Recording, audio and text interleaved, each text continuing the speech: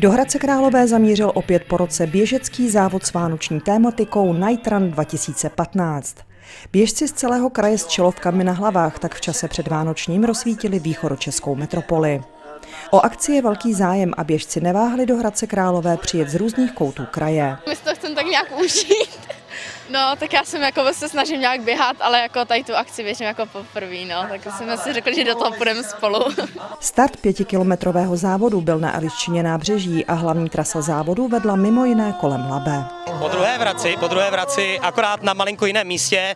Loni jsme byli v prostoru před univerzitou, ale přece jenom kapacitně už to nestačilo. Potřebovali jsme větší koridor, větší prostor pro ty stánky, takže teď jsme na tomhle Eliščině nábřeží tady, plus zázemí Sokola, což je taky výhoda určitě. Pro spoustu běžců bylo hlavním smyslem účasti nejen to, že si můžou zasportovat a potit se pro své zdraví, ale také radost z dobré věci.